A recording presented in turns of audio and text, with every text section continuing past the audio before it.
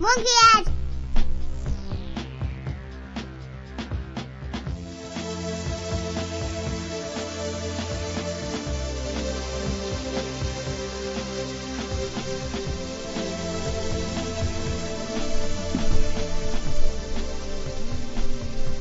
Uh, good to you here again.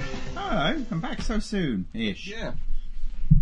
And yet, in a way, it seems like it's been ages since we did the last podcast. it feels like it's been ages since we did the last podcast. well, at least last podcast that anybody heard. Ooh, mystery podcast. Uh, right, anyway. Hello, we're back. Um, and we are going to review Chrissie Hynde's latest first solo album by, apparently, uh, Stockholm. Uh, Mastodon, Once More Around the Sun, so a bit of metal. Uh, Bob Mould, Beauty and Rain, which is his 11th solo album. Uh, the return of Ice T and Body Count with Manslaughter. And then we are going to finish off with uh, the fourth album from Sharon Van Etten, Are We There Yet? And the return of Lana Del Rey with her third record, Ultraviolet. So we start off by. Um, Is it ultraviolet or ultraviolence?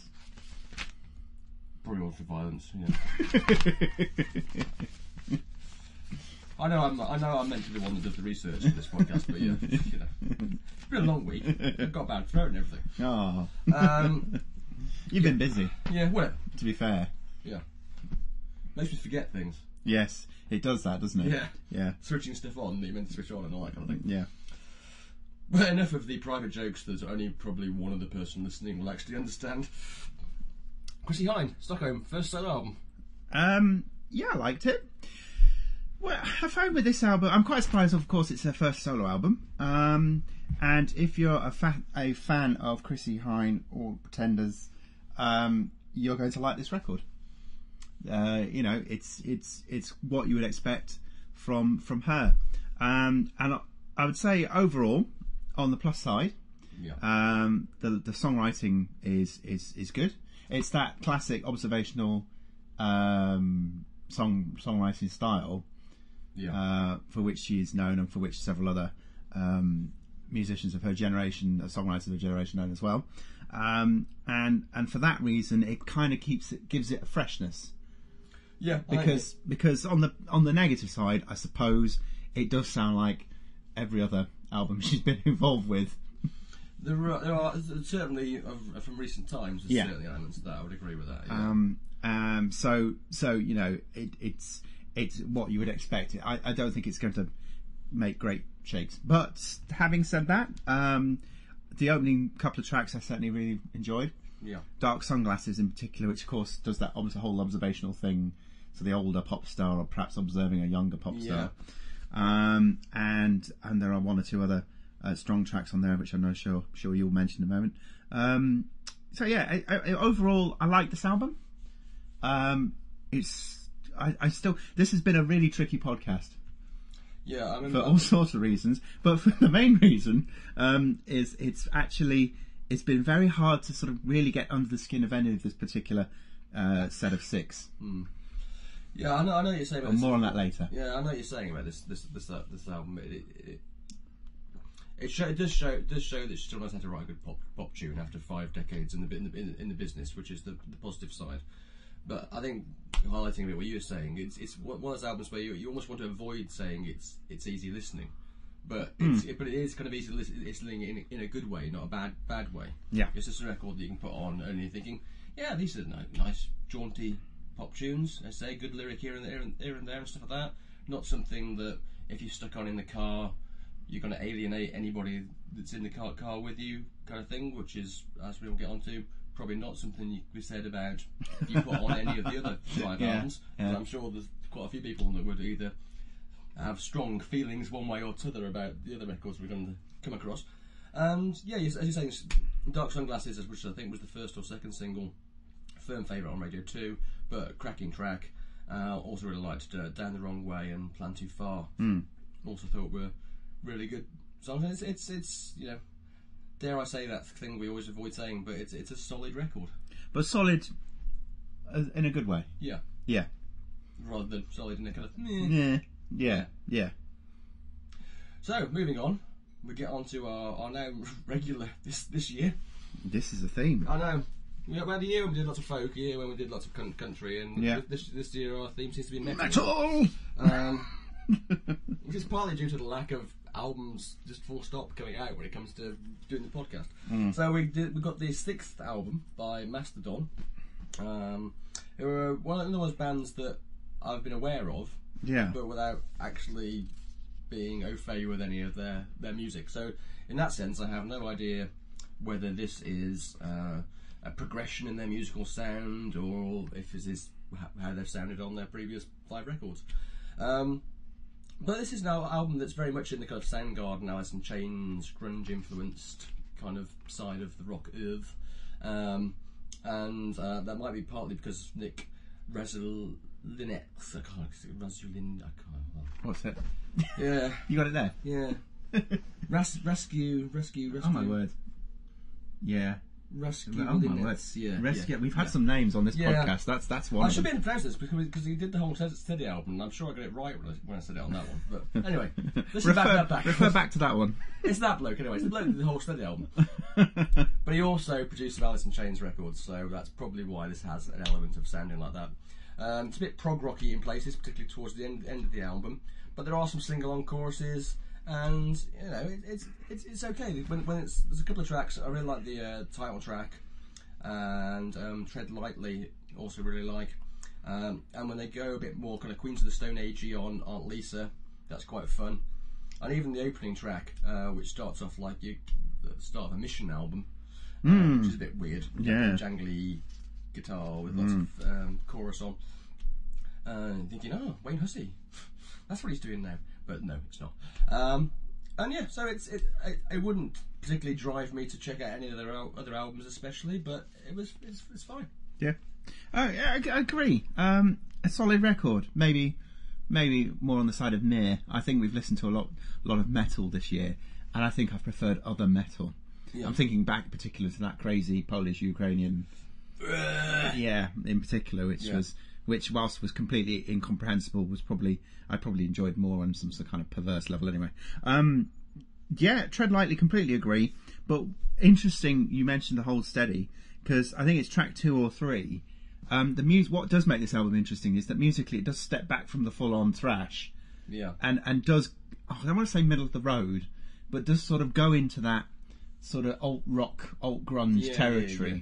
for which bands like Hold Steady. Um, I suppose Pearl Jam comes into my Yeah, well, my yeah. mind uh, during this podcast a couple of times. But um, Pearl, it, it's that sort of sound. So it sort of steps back from being full on metal, and you get more of an alt rock guitar thing going on. So so in in many ways that actually does keep the interest going because it does vary in style across the album. Yeah, I Um, agree with that. Yeah. Um, other other track that, that caught my attention or, or, or made me think more than once um, was uh, I think it's I think it's Chimes at Midnight. Once more around the sun as well. Uh, Yeah. I, I enjoyed, and again I think because it does take that sort of different different turn. Um, only track I really sort of didn't like was the closing track, Yeah. which I have to admit just sort of sent me to sleep after a couple of minutes. It was just so repetitive, and It's also what it says. It's, it's called Diamond in the Witch House. Yeah. And and it sounds exactly like a song called Diamond in the Witch House. Must. It's going to sound. yeah, Really. exactly. You know. It really does, people. It's a shame, really, because it lets you down. The, Yeah. the album up until that point is all right. Yeah. Yeah. So, speaking of kind of um, grungy and indie and stuff, we reach uh, Bob Mould and his 11th solo album. And uh, for those people who don't know who Bob Mould is, he was uh, founder member of a band called Husker Du and then also had a band called Sugar, um, both of which are heavily referenced by other artists. Yes. Um, so, yeah, and here he's back doing what he does. Yeah. Um, this again, it's a solid album. Yeah. Um, again, I find it difficult to get under the skin entirely. So that's three in a row. Um, I found I found it's quite a short album, 36 minutes, people. which we like, uh, which which helps. Um, but but again, I've, I never felt I really caught quite quite into this album at Yeah. all, and that's after repeated listenings, which is unusual. Um, actually, weirdly, the first track, "Low Season," I don't know what he does right at the beginning vocally, but it almost sounds like Noel Gallagher. There's a real Noel Gallagher thing, even musically as well. It could be like the opening track to Noel Gallagher's next album, and then that sort of more of an Americanized draw Yeah, yeah, yeah. kicks in. Um, so it clearly isn't. Uh, Pearl Jam again, Yeah, I'd like to see no one going in this direction. Yes, the Pearl Jam direction. But Pearl Jam again came up um, halfway through the album. Um, Fire in the City was an enjoyable track. That's about two thirds of the way in. Yeah. Um, but yeah, I, I just didn't quite, you know, for me. Yeah. How about I- yourself? Well, I'm, I'm, I've been a bit of a Bob Mould fan over the the, the years, so I kind of like it a bit more than that. Although Yeah. he has written some tosh as well in the years, it has to be said. Yeah. Um, I know, it wasn't Tosh though. yeah, but I, but, but I think it, it, it is it's, it's it's kind of tried to distill into half an hour the whole his whole career in a way. You've, so you've got things that are very Husker Du like, so Kid with a Crooked Face, um, which is a sound that was then kind of in some ways copied by a kind of fat, the kind of fast, kind of hard rock, almost verging on punk type pace pacing that bands like the Foo Fighters, for example, Yeah. have incorporated into their sound. Um, but also, where I think he's strong, strongest, and always always been strongest, is just writing really killer pop tunes. And I think there are a couple on this album. So uh, the single, if you like, off it, "I Don't Know You Anymore," is a perfect example of that, and the kind of thing he did quite regularly with uh, Sugar.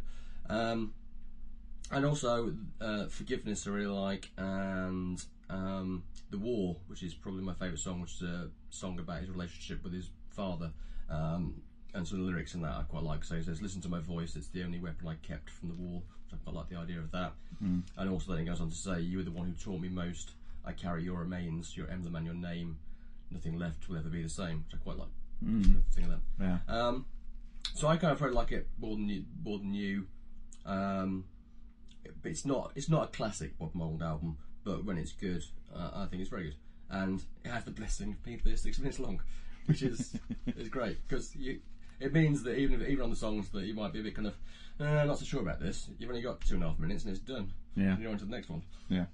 Uh, so yeah, St- sticking with the um, loud music and an angry man, we have the return of Ice T and Body Count, uh, fifth album from the band, first in about eight or nine years, I think. Um, and I do own the first two Body Count albums. First one is pretty good, and still played it not too long ago, and it still holds up reasonably well. Yeah. Second one is crap. Uh, and to be fair, it was quite crap at the time as well. So uh, Yeah. it was one of those things I bought and kind of thought, why did I buy that? It's got one good track on it. The rest Yeah. of it's rubbish. Still the same. And the, the, the difference now is the one track I thought was quite good. Even that's a bit kind of hmm. Not Is so sure about it anymore. Oh dear. Yeah. Um, and this album is uh, funny in, in many ways because on first listen, I was definitely reaching for the uh, Cobra Award for Worst Album of the Year. Um, I was thinking, oh, that's I agree. I was thinking that's going to be a quick, quick one. Don't have to be worried about this this year. Uh, and then I played it a second time, and something weird started happening. When I suddenly I thought, oh, I like the riff in that. Yeah. Think, oh, that's kicking. And then, oh, yeah, quite, yeah, that's uh, thinking, oh, this oh, rocks Yeah. and thrashes. Um, but obviously, nice riffs alone don't make a great album. And, you know, we also needed the Iceman to come cometh lyrically uh, to see if we could really get the job done. And, yeah, he kind of does in places and then not so much in other places. So when it's right um, on stuff like Get a Job, about, you know, getting off your arse and earning your own money, not just relying on other people's handouts leaving aside the bit where he seems to imply if you should become a, At least A become robber. at least become a robber. a robber, yeah, Yeah. yeah, yeah, buy a gun, become a robber. Yeah. Know, at least then you kind of. At least you are kind of up off your your backside. Yeah. Back to rehab is kind of touchy feely uh, song about uh, about addiction and the pain it causes everyone and the lies addicts uh, tell. Uh, want to be a gangster? Uh, great track about idiots who kind of want to buy into the whole kind of gangster rap thing and like, oh, I want to do that. Um, and Pop Bubble, which is his dig at rappers and other musicians who kind of compromise on their music to get a hit. And don't basically sing about stuff that's going on, just talk about all the champagne they're drinking and kind of um, all the women they're sleeping with and how many how many cars and houses they own. So you've got that on the kind of positive side, and then on the less positive side, uh, you've got the title track and other things like that, where it's kind of um, tosh about how women are demasculated, demasculising men and yeah, misogynistic tosh really. Um, a kind of vibe that's kind of not dispelled by the fact there are a lot, lots of bitches and hoes on the album as well. Uh, I think as we've discussed before over podcasts over the last last few years, you know, it's it's 2014 now. Do, do we really need to still be singing about bitches and hoes? You know, it's a bit kind of tired and Yeah. hackneyed and, and lazy, His, friendly. his re recover of his original uh, No, 99 No problems, Problems, yeah. in particular, did sound pretty tired, attitude wise. yeah, Yeah, and there were other moments in the album where I just I felt I, d- I don't I don't want to be one of those people that's offended by music because I don't want to be one of those people that's offended by music. I sometimes I you know in in I I, I open I welcome attempts to offend me. I'm that sort of person. But there were times in this album I was like, yeah, I don't need to hear this, you know. Um, anyway, that aside, um, I had a very similar experience yeah. with with you, um, uh, with you uh, as you as you did, um, and indeed listened to it the first time. Thought, well, that's utter tosh. I don't have to listen to that again. Uh, but then found myself going back to it a couple of more times in, thinking, yeah, musically, very good riffs, um, and then obviously those, those all those tracks you've mentioned, very very cleverly done. Those that we spoke positively about. Um, a great wit in in the writing in some of them. Um, and uh, yeah, I, I, I want to mention two, two, actually just one other track, and that's institutionalized. Yeah, the suicidal tendencies cover. Yeah, um, which is um, quite funny. I don't think it's intentionally funny. I, I don't know. Do you think it's intentionally funny? Because it, Uh, yeah. you know, uh, it's a it's sort of sort of routine on opening the email account and not getting the password. It it sort of it sort of verged on Michael McIntyre routine for me, really. you know, in terms of uh, there you go. Um, Yeah, that, that's a thought I didn't never thought I'd hear. Yeah, exactly. Ice T does Michael McIntyre. Well, I had an email account. Well, I couldn't get a password. Um, and uh, yeah, so, so that so that sort of made me smile. Uh, That, that, that, that is a mashup I want to hear now. that's a mashup you want to hear now, isn't it? Michael McIntyre Michael doing, McIntyre with body count. with Yeah. body count doing that track. Um, if you listen to the track, you'll know what I mean. Maybe. And in fact, fact, fact, if he can do that, if, if he could do talk shit, get shot as well, that'd be really Yeah. good. Yeah, yeah.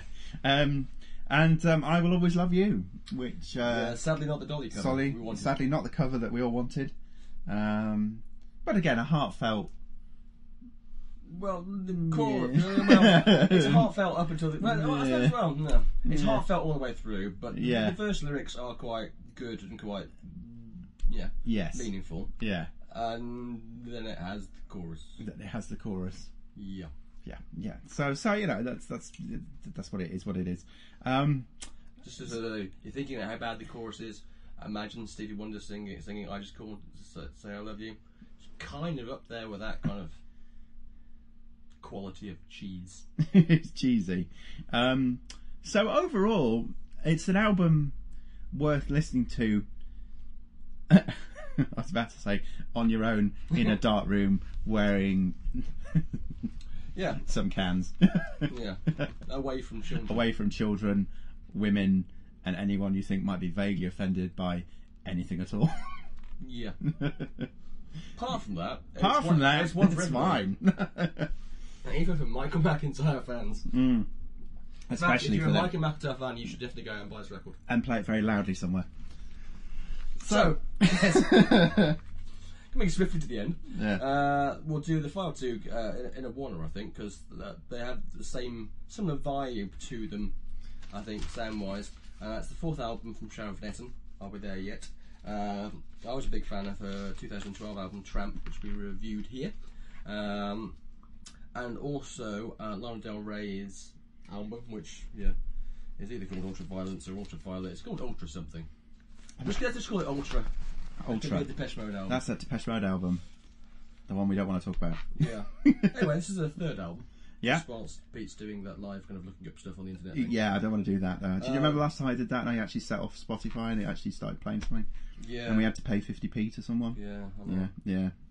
Anyway, try not to do that again. It's tr- tr- traumatic. Anyway, Dramatic. uh, carry on. Yeah, so I've picked these albums together partly because they both have a very um, relaxed Ultra violence. ultraviolence. Thank you.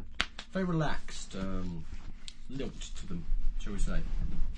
uh, to the point of uh, being soporific, uh, depending on what kind of mood you're in. Ah, Um, and I think, obviously, with the Lana Del Rey album, what you're getting is the last Lana Del Rey album and more in that in that kind of sense. Uh, the sound is slightly, I suppose, widened by the introduction of Black Keys um, singer, guitarist Dan Auerbach as producer. mhm. But it, I, it's kind of more of a lullaby kind of record. does, for me, yeah, yeah. You know, it's kind of thing you could put on at bedtime and you'd be off to sleep in minutes. I have some disturbing dreams afterwards. Well, yeah. And that's partly because the opening track, Cruel, Cruel World, does go on for six and a half minutes for no apparent reason. You know, it, it's it's it's a David Lynch soundtrack. Record. It is very David Lynch, yeah. In fact, if you combine, if you, if you, did, if you did half this album and, and half the Sharon Van Etten album, you they really wouldn't be out of place at all on a David Lynch soundtrack. no. Um, so La- Lana Del Rey album, um, slightly more, it's the slightly more polished record, I think, of the two. Um, and I really like the bit where she's doing kind of Cocteau Twins impersonation, in the chorus of Shades of Cool, tempo change uh, on West Coast. Brooklyn Baby is a really great song, and I think it's one, one of these albums where I was thinking about it again the other day. And if you listen to each track individually, Yeah. it's kind of hard to fault any track on the album. However, listening to them as an album, it Yeah. does have that thing, like I said, that you can just find yourself, depending on what mood you're in, just switching off totally, and you, you, you just you're gone, and you can't remember what you're listening to, who it is, anything, and or which song's which. Yeah. Um, the Sharon Van Etten album has a, a similar kind of thing thing to it. I've listened to it four times now. Twice I've really liked it. Twice I've felt meh. Starts off really great. I think the first four tracks are really really strong, and I really like the kind of mix between real drums and synth drums over the first few tracks as well.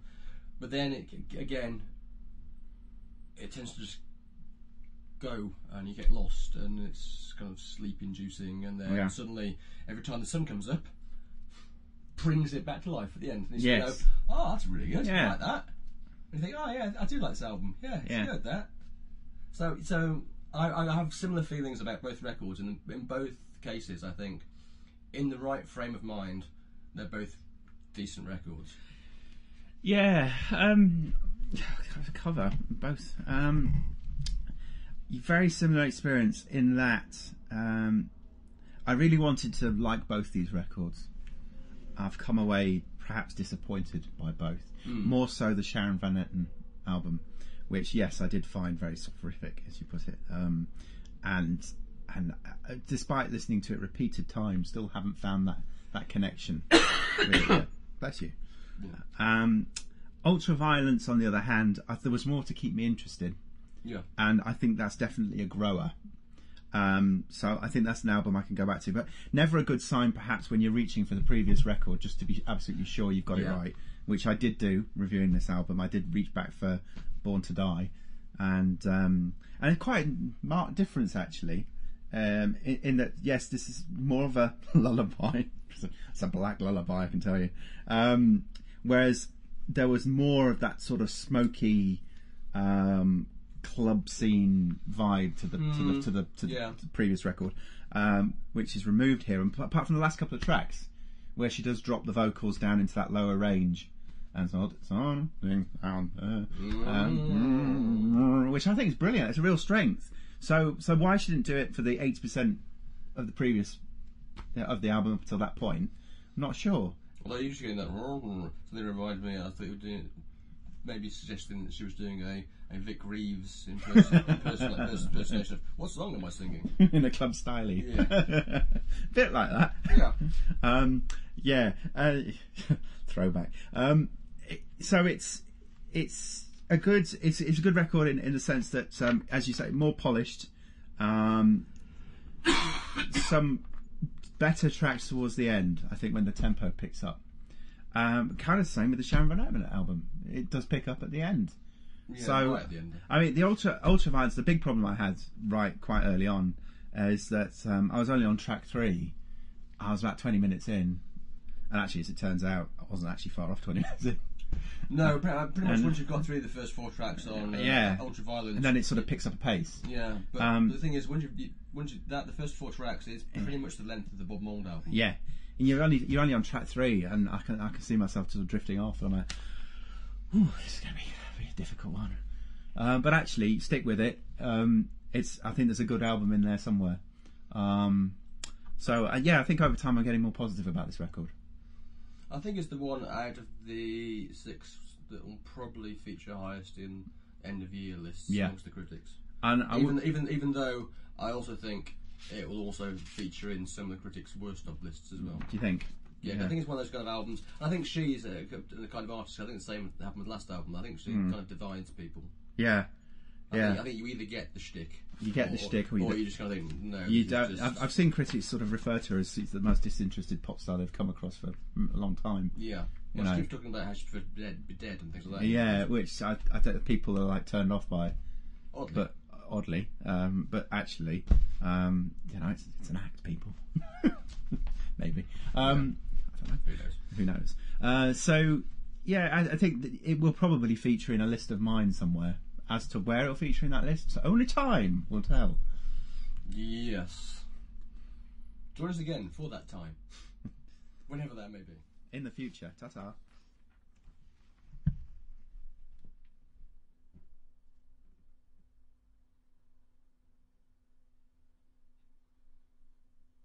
You've been listening to the CTTB Music Podcast.